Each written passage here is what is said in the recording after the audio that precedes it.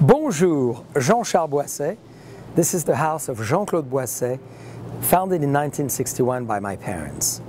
We are tasting a Nuits Saint-Georges. This is the epicenter of the family history. This is where my parents moved after started the winery in Vougeot.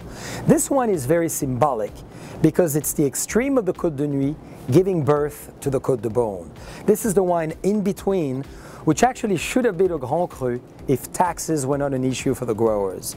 This one is all about power, is all about energy and spirituality. This is a wine you want to do a lot of meditation with. This is the wine you want to have with your finest dish. Delicate, refined, and powerful.